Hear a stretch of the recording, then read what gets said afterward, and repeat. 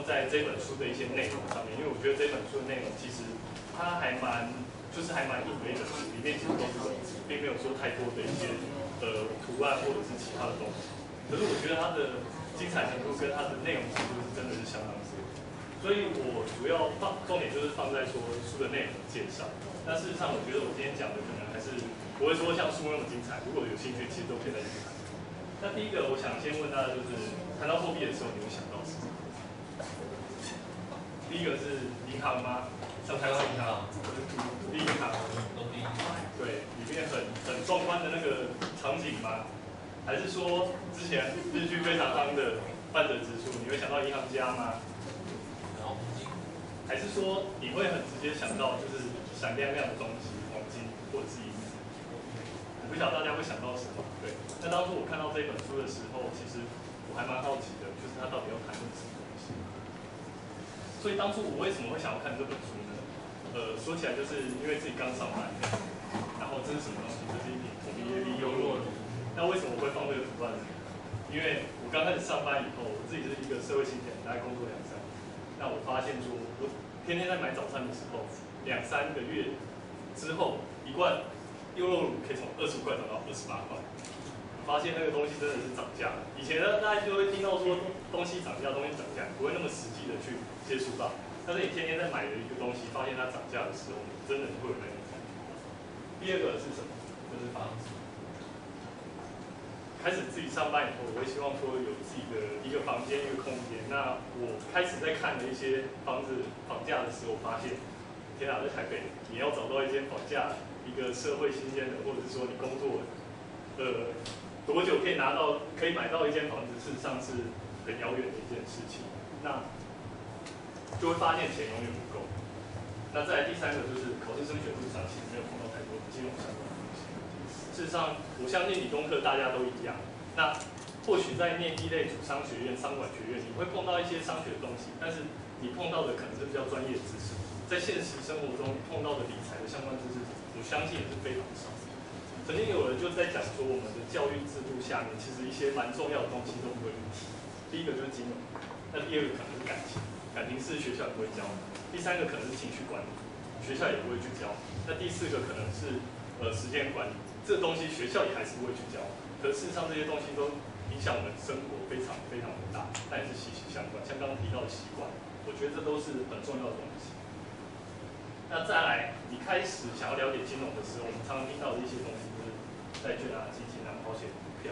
或许像刚刚那一位朋友，就是呃在保险公司上班，那他知道这些东西。那我们事实上，我们其他人不太会去接触到这些东西。我开始想要了解理财的东西的时候，我希望我先有一些背景。再去做，不然永远就是学费缴下去是非常非常的多。OK，那事实上在钱这个东西，是我们在社交场所就是通常会去避开的一个话题。它不像天气啊，不像书籍啊，我们不会去谈论它。可事实上，我们天天都在用钱。那为什么我们不太会去谈论它呢？因为用钱以后到后来很多都跟权力，都跟一些呃利益关系有很大的影响。那人们开始去考，就是闪避这个话题，但事实上它是非常非常重要的。所以我觉得说，从一个书的角度来切入来看，我们是日常生活中一定会用到的货币，其实是还蛮好。那下面我们就开始从第一章开始介绍。呃，这一位是罗斯柴尔德，那他讲的这句话，我那时候看到其实非常非常的正，就是只要我能控制一个国家的货币发行，我不在乎谁制定法。那罗斯柴尔德其实，在一般我们我在看这本书之前，其实我不认识他。但是在作者的说法来说，他觉得罗斯柴尔德就像我们一些物理学家，什么费曼啊，或者是爱因斯坦之于我们学物理的人会看到的一些人物一样，就是学金融理财的时候一定会碰到他。OK，这样讲其实还是很遥远。呃，第一个就是在二二零零五年的时候，富比士他公布了就是历史上最有影响力的二十位企业家，那罗斯柴尔德就是其中的一位。富比士是什么？相信大家都知道，就是每年一定会公布了现在谁最有钱啊那个那个单位。那他最重要的一件事情就是确立了现代的。事实上，我们现代社会其实，呃，现在的强权大部分都是欧洲跟美国。然后呢，欧洲跟美国那时候的一些制度到底是怎么创建的，包含现代的银行，其实在欧洲跟美国影响都是相当大。那他是一个德国的法兰克福犹太人，那犹太人相信大家印象都很深刻，就是非常非常的会了解理财这一方面的事情。那他最厉害的一件事情就是透过家族合作，跟欧洲各国天启银行的合作。他总共有五个儿子，在那时候的欧洲，就是英国、法国、德国、意大利跟奥地利，就是五个儿子去五个国家，对，然后就是一个人负责一个国家的一些财政的东西。那在那个年代呢，事实上，其实不管是以前还是现在，我们非常非常重要的东西就是情报。那他有整个家族在五个国家，所以他们可以拥有最直接、最快速的一个情报收集。那最直接的影响就是在书籍里面提到，就是说那时候的滑铁卢战役，就是法国拿破仑跟反法的那一边，就是英法两边的战争。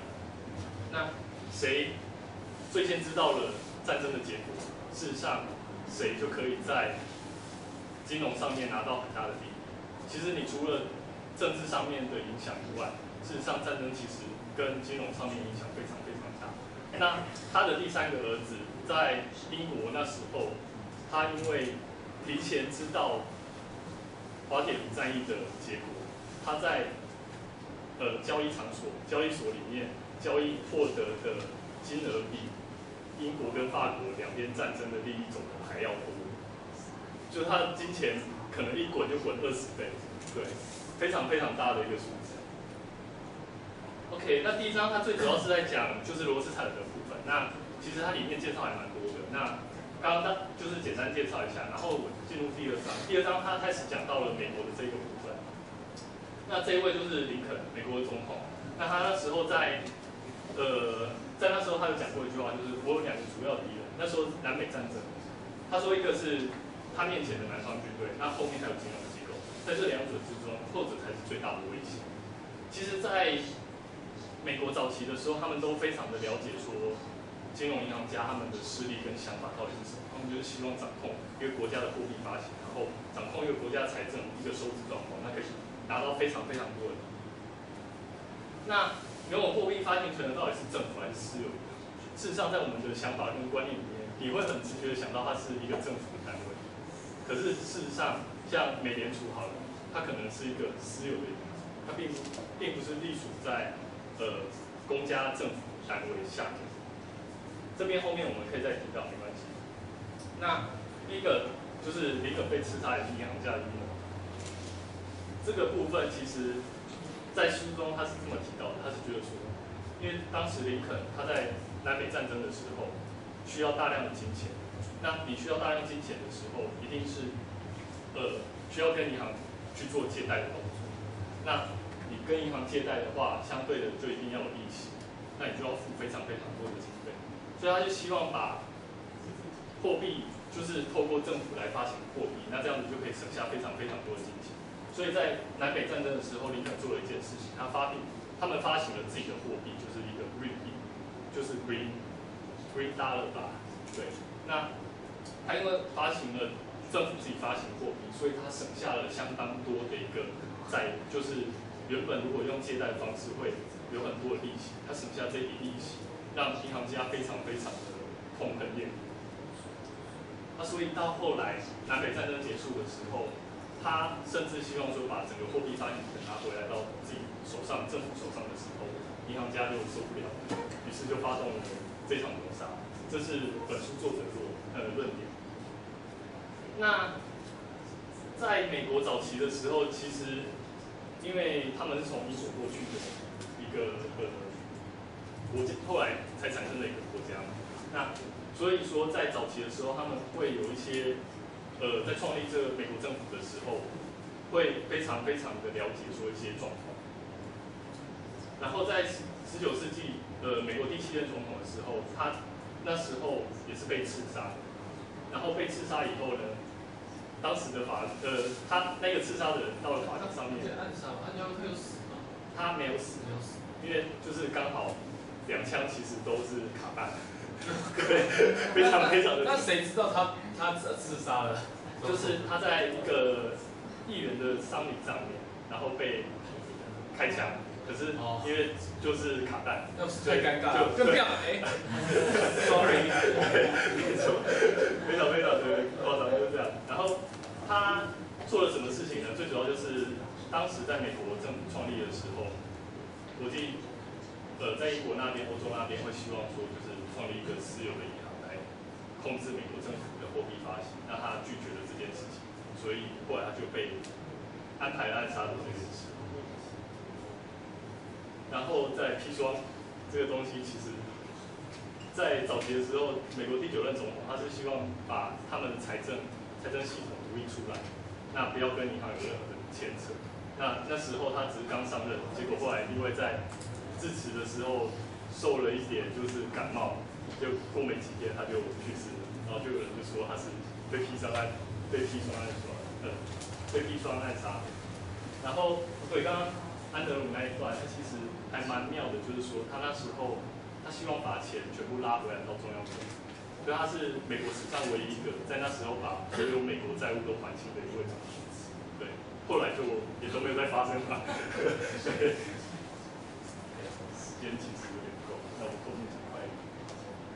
那再来，刚刚就提到联总会其实是它是一百趴私有，就是美国政府不拥有的股份。那这是我上上网自己去找，它大概有九十四趴，其实它利润是转掉美国政府，那六趴给银行发发放利息，这是官方的呃就是找得到的资料。那事实上也有人就是说，其实联总会它的主席也是国家任命，那也不像作者说的那样。那这部分我们都还可以就是自自己再去看一些东西，那只是作者会提出这个论点。那美联储最刚开始的时候，它是五个银行。其实 JP 摩根其实相信大家现在如果碰到一些财政的东西，大家都知道 JP 的这个摩根银行。那罗斯柴尔德刚前面提到，洛克菲勒是美国的一个企业家，那当时他是算石油大王，他的财富在那时候累积非常非常的多。然后詹姆斯希尔是一个美国的铁路大亨，那美国的铁路网其实跟台湾不太一样，因为他们腹地很大，所以他们铁路真的是你在铁路获得一定的企业的时候，它的利润相当多。然后沃伯格是美国的呃纽约银行的一个持有人，这边也是一样，就是后面我们就简单带过，因为时间好像都不够。OK，在后面其实洛克菲勒他的城市银行跟摩根第一银行合并为花旗，那其实花旗银行我们现在大家都听得到，他那时候是在一九是二十世纪，就是一九四一九四几年那时候，就是联准会其实后来因为花旗银行创立以后。其实联总会有绝大多数的股份都是在花旗银行上。那第一次世界大战大效，有人说，呃，在作者他的论点上面是说，其实第一次世界大战是因为美联储建立起来。为什么会这样子说呢？因为在欧洲各国在普法战争结束之后，事实上他们就是各国扩充他们的军备，可是扩充军备的时候，他们也没有太多的钱去支撑一场很大的战争，所以要打只能打一个局部性的规模战争。但是那对谁其实都不好，所以后来美联储就是美国的呃联总会创立起来了以后，就有一个国家它可以提供大量资金，那提供大量资金的时候，其实就是大量借贷跟利益关系，所以呢，在作者他提出的论点就是说，因为联总会成立的关系，所以后来一次世界大战才会就是顺利的打，因为在打的那么惨，对，因为因为在那之前可能可以打，因为军备已经够多了，但是钱不够多。对。OK，打仗就要花钱，然后越打越大战争花钱就越多，问题是谁花谁的钱？那就是战胜方跟战败方。那事实上就是各国政府要花钱，那各国政府的钱怎么来呢？当然就是拿人民的钱。那你各国政府事实上也不会有那么多的税收，因为其实我们知道每天维持你的政府的一些机构运作，其实就一定要有量，所以它一定还是要跟银行去做借贷。那跟银行做借贷的时候，事实上银行家是最大的丰收者。OK，这就刚刚提到的。然后后来就是德国超级通膨，就是因为世界大战爆发以后，其实那时候德国的通货膨胀非常非常的多，其实到现在德国人都还会很痛恨通货膨胀。呃，通通货膨胀也是因为那时候的关系，就是有人提了呃用木车轮提了一大堆的钱要去换个东西，就回来进去店家里面出来的时候，木车轮不见了，钱还在那里。对，就是因为钱已经不价没有价值了，比那个东西比那个手推车还要没有还不值钱这样。OK，那作者他其实在五六章的时候他说的这句话，我觉得也还蛮蛮不错的，就是问题在于历史的真相与媒体刻意塑造的公共感受之间，它存在巨大的落差。人们对进行颠倒的场景难免出现错觉。其实相信，呃，最近的一些社会案件，我相信大家也可以了解得到，就是你看到一些主流媒体的一些报道或者是一些状况的时候，其实，在我们现在资讯流通这么广泛的状况下面，我们可以了解说，这这这一句话其实是有它的道理。OK，然后到第五、第六章的时候，他是在讲美国的一个近代史跟廉价货币，就是在胡呃胡佛总统跟他罗那个罗斯福那一段。那事实上，罗斯福他上去了以后，他推行一些新政，非常受到好评。可是他有一个非常不一样的东西，就是他把美元跟黄金的兑换给取消了，就是你有一个法定上面的兑换价值，可是人民不能够持。简单说，就是把黄金给抽走，可是它名义上还是存在的。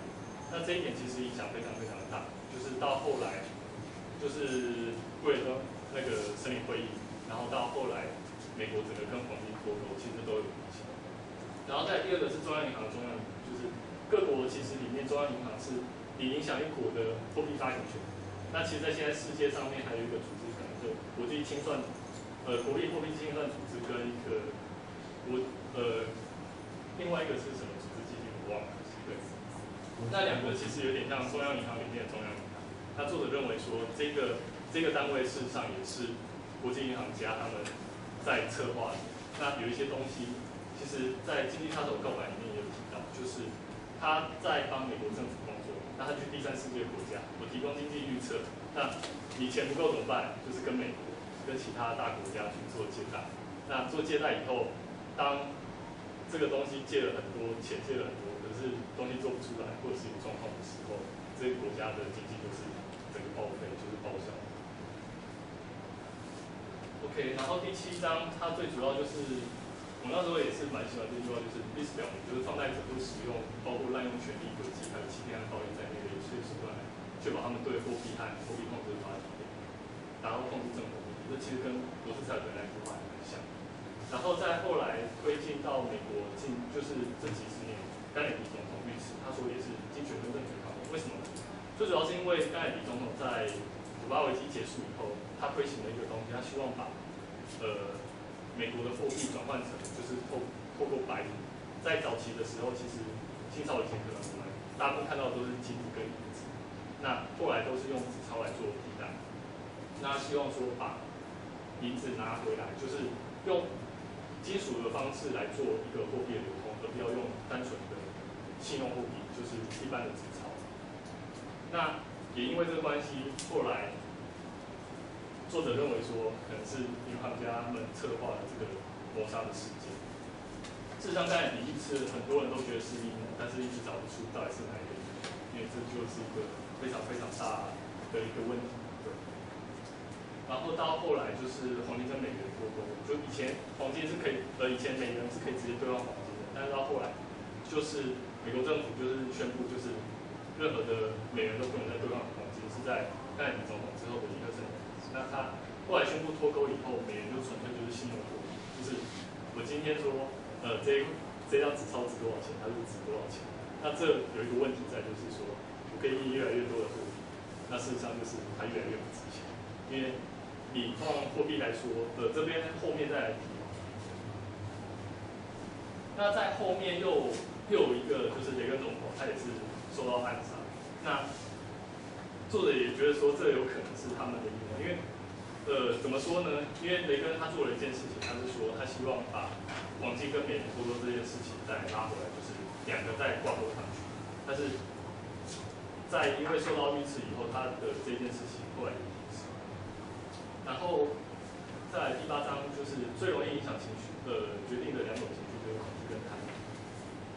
战争跟政府的关系，事实上，呃，政府在统治人民的时候，对他已经提了很久，已经提了很久了，是不是？对对对。要不要总结一下？就是因为可能你还有还蛮多的嘛，你要不要直接总结一下？你你你看了这个书的整体的感想和心得。OK，就是他事实上里面提到了一些想法，他会比较偏向于就是他觉得国际银行家有钱以后可以做很多事情。尤其是暗杀别人，对，没他好错。像好像美国，好像美国除了银行家外，没有别人参与暗杀行为。对，其实这这个三 K 三 K 党会不会觉得很闷？为什么？备受侮辱。就为什么？我们我们都我们是职业的暴力集团。对，那事实上我是觉得说他在给我的感觉就是，他除了一些货币上面的一些内容以外，他让我了解到就是以前其实不太会去碰到历史的东西啊。那在看历史的东西的时候，也就打打杀杀，就是哪一个哪一个将军哪一个事情。可是事实上，你从另外一个角度去切的时候，从经济的角度去切的时候，它的东西其实是可能有不太一样，就是也不单只是政权上面的想法，有可能相对会有一些利益的想法。那再来就是货币的部分，其实我觉得货币影响最大的就是，呃，以前觉得对债券啊、贷借贷啊这种东西其实没有太直接的概念，然后到后来才了解说，就是所谓信用货币跟实质货币的差别，大致上是。